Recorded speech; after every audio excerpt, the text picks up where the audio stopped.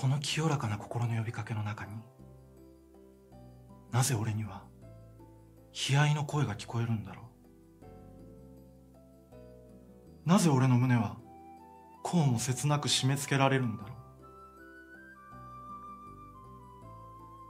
う？もしいつか私の命がお入り用になったらいらしておとりになって。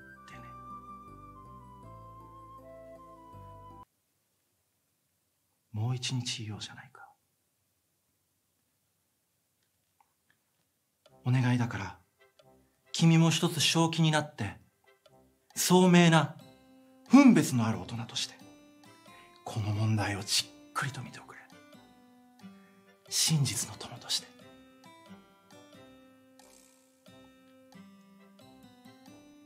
君は犠牲になれる人だ。俺の親友に。